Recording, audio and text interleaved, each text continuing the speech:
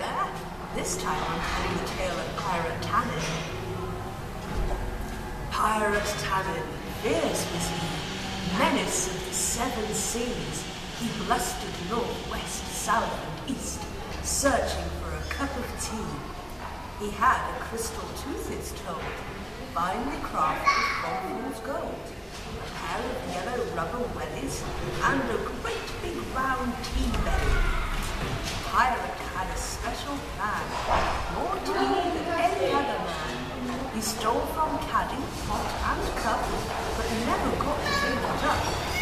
He thought there could be nothing finer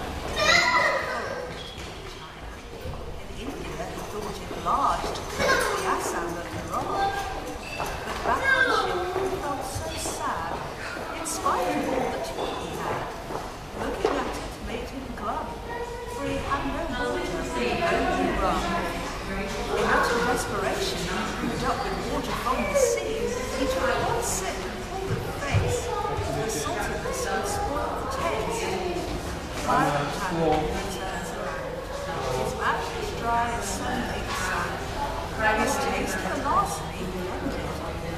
But wait, a teapot, unattended. He swiftly grabbed the steaming pot and cried, ouch,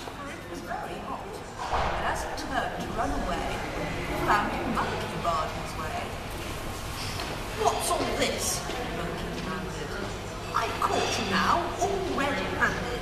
Tell me why you hatched this plot to take my most favourite teapot. So Pyrite told his weary tale, which made the monkey laugh again. Your story's full of dash and daring, but silly, silly, tea is meant for sharing.